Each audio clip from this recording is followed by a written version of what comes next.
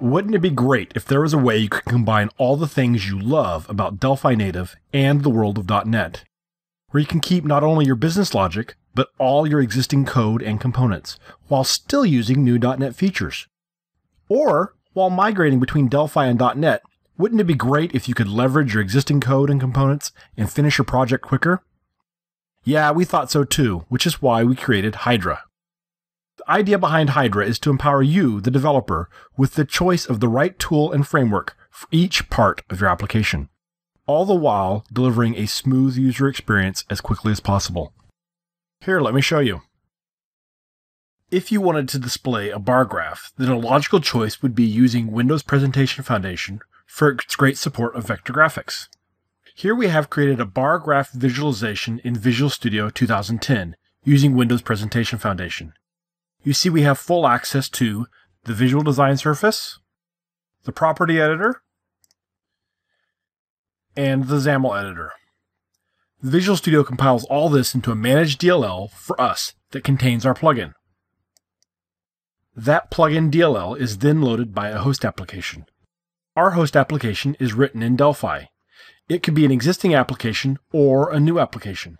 The key here is the Hydra Module Manager which is able to load and display the plugin from the DLL. Along the top here, we have some standard Delphi user controls and a panel to display the visualizer on. When we run this Delphi native application, it loads the .NET DLL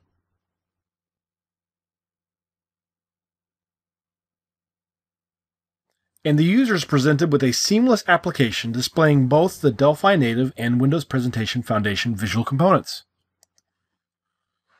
As the user interacts with the Delphi controls here, the .NET Visualization plugin responds as expected.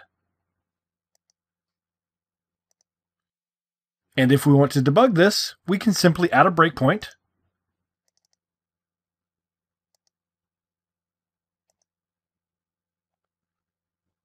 And when we click the button now, the breakpoint stops like we would expect it. We're now able to step and inspect just like normal.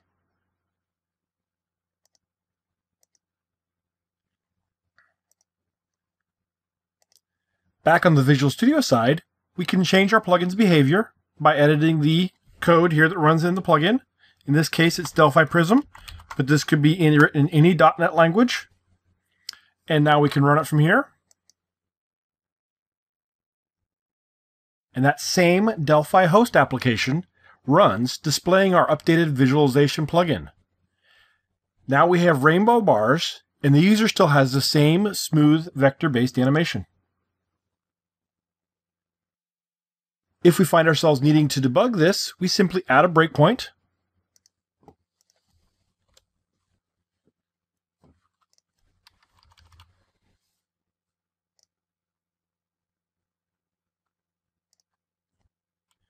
And now we can step through, inspect the values, just like normal. When we're done, just let it run.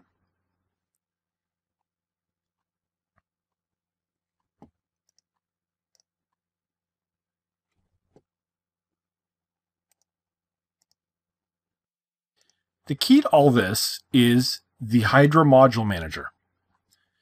Through the load module method, we are able to load a plugin module containing one or more plugins.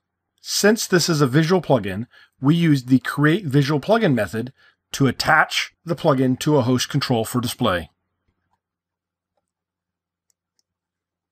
We run it here again from Delphi, and we see our update from the .NET side is visible as well.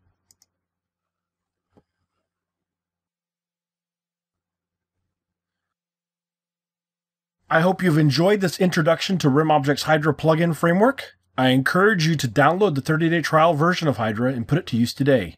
When you do, check out the RemObjects wiki and the included examples for more information on how to get the most out of Hydra.